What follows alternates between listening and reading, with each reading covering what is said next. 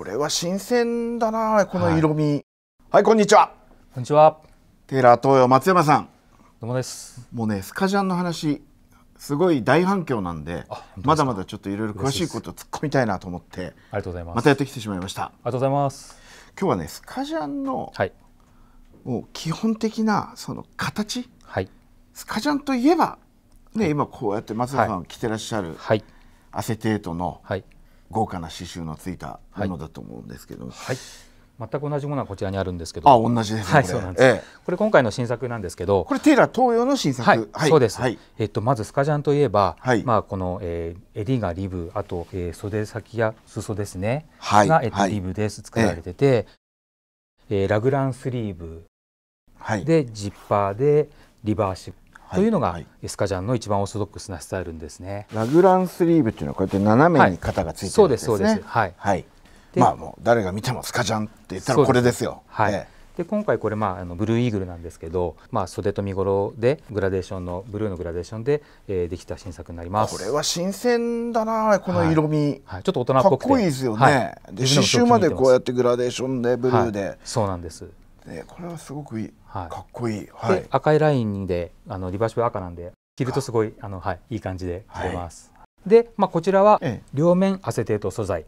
当時、ええ。ー、まあ、シルクに似た光沢のある素材のアセテートですね、はい、で、はい、えー、中綿がないものですね、はい、一番こう長く季節関係の着れるものなんですけども、はい。えー、誰が見ても、これぞスカジャンってやつですねこれが。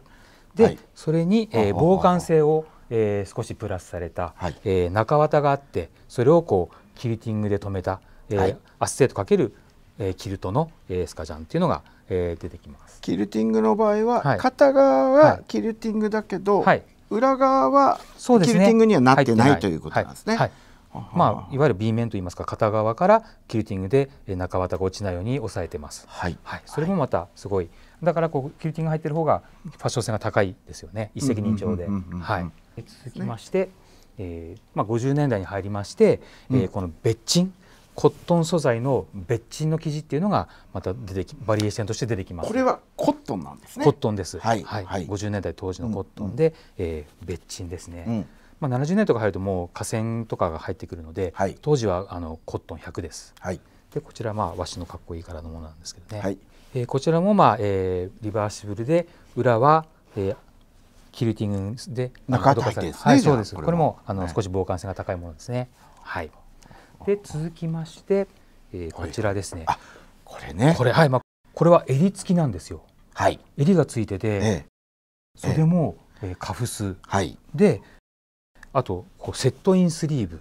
あ、そうか。そうなんです。肩の付けもね、同型だから目立たないけれども、はいはい、肩の付け方が違うんですね。そうなんです。セットインスリーブになってる。はい。はい、で、ヴィンテージではこういうものも存在してて、うん、すごいあの珍しいものになります。裾もだから、一切リブは使われてない形ですね。これは。そうなんです。まあ中に少しゴムが入っていたりとかして、はい。そうなんです。でこちらもまあ一応リバーシブルなんですけども、こちらはまあ中綿入ってない状態なんですけどね。この形は別鎮が多いんですか、やっぱり？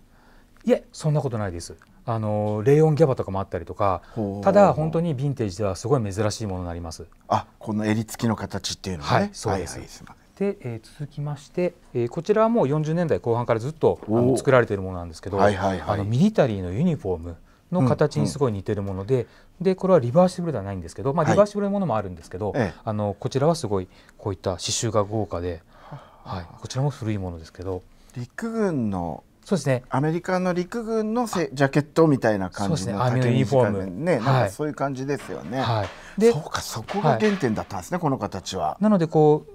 あのまあ、ボタンもこう隠れるようになってたりとかはい、裾の方もこう出して着るようになってますので、はい、まあ、シャツとジャケットの間といいますか、はいはいそういった形になってますね、えー、これもすごい珍しいポケットもね両方にこうついてこれもアクセントフラップがアクセントになってて。そうです。はい、えー、すごいかっこいいです。ほうほうほうで、えー、っとですね、今回まあまた、さらに紹介したいものがあるんですけども、ええ、まあ、あの50年代、まあ、スカジャンっていうのがこう、うん、日本でもちろん米兵の土産物として、うん、えー、まあ、米兵の間ですごい流行ったんですけども、はい、1960年から、えー、ベトナム戦争が起きまして、はい、そうですね。はい、でその日本のそのスカジャンと同じように、うん、ベトナムでもスーベニアジャケットというものが存在します。なのでベトナム戦争に、えー、駐留してた、えー、米兵が、えー、ベトナムの、えー、お土産として買っていったもの。あじゃあこれは日本製じゃないはい、ベトナム、ねはい、ベトナム製作られたもの。はい。えっ、とですね、こちらは一番オーソドックスなスタイルのベトジャンになるんですけども、えええー、とこちらにまあ虎、胸に虎、あと服の漢字の服ですね。それから袖にこう火のような火を模したようなこう竜の刺繍ですね。はい。ものが入ってまして、ええであとそのまあ刺繍自体もマットな刺繍糸を使われてるんです。スカジャンとはちょっと色味が違いますね。違います。ちょっと太めの糸で、マットな糸が使われてるんですよね。で、えっと背中にはこうベトナムのマップですね。えー、地図とあとベトナム戦争中の、えー、米兵のやるせないメッセージ、やるせない気持ちを表したメッセージっていうのがこう記さ、はい、あの施されているんです、はいはい、これが一番あのオーソドックスなスタイルのベトジャンになります。これはこのヴィンテージなんですあではないですよね。実はこれ今回新しい試みで、はい、えー、ベトジャンのエイジングモデルっていうのがあの今年からあ。の新作で。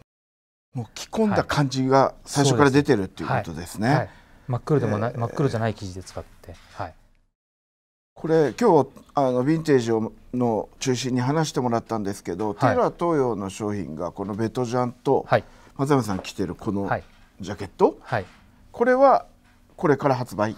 そうなんです。そろそろ、あの店頭に並ぶと思いますので。あもう発売新作としてこれから出てくるものですね。そうです。まもなく。はい。なので皆さんチェックしていただければと思います。はいありがとうございますいやスカちゃんって、はい、そういう刺繍のモチーフで話す人もいるし、はい、素材もね実はいろいろあるなとかねそれに加えてこんなに形のバリエーションが、はい、細かいのを言えばもっともっと実はあるわけですもんね。はい、だから本当にこういろんなのに出会っていく楽しみっていうのがスカジャンにはあるなと、はい、ねおっしゃる通りですいう感じですね。ありがとうございました。勉強になりました。よろしくお願いします。